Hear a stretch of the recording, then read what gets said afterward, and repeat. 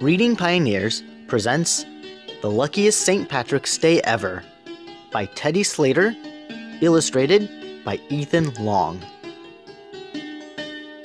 Top of the morning! It's March 17th. The leprechaun family is wearing the green.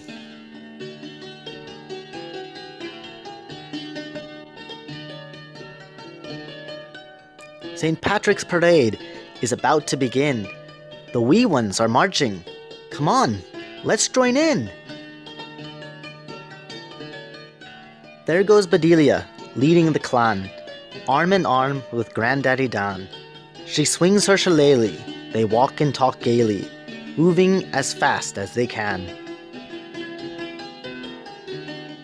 Timothy Shaughnessy, handsome and bold, marches along with a big pot of gold. And here comes Aunt Rose, tap tap in her shoes, with shamrock in hand. She follows the band, decked out in her very best clothes.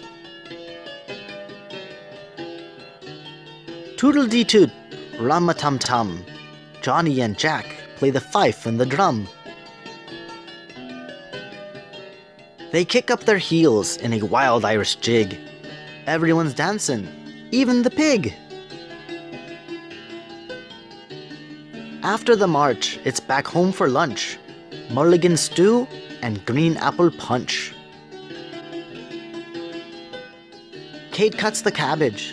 Pat shells the peas. The mischievous children do just as they please. Friends and family keep coming to call.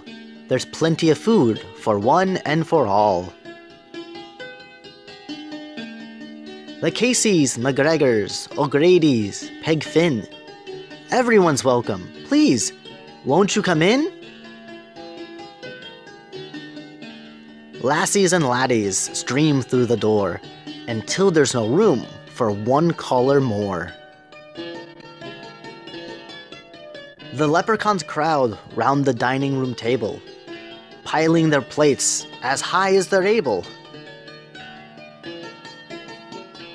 But before they dig in, they have one thing to say May the luck of the Irish be with you today!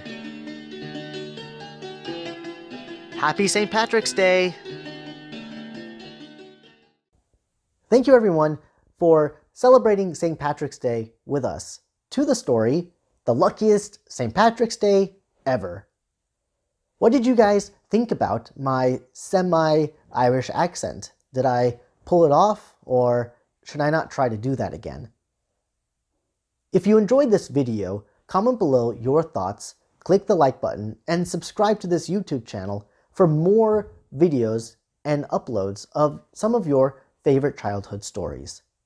If you have any other suggestions for books that you'd like to hear on this YouTube channel, you can also leave them in the comment section below, or if you'd like to send me a private message, you can email me, contact at readingpioneers.com.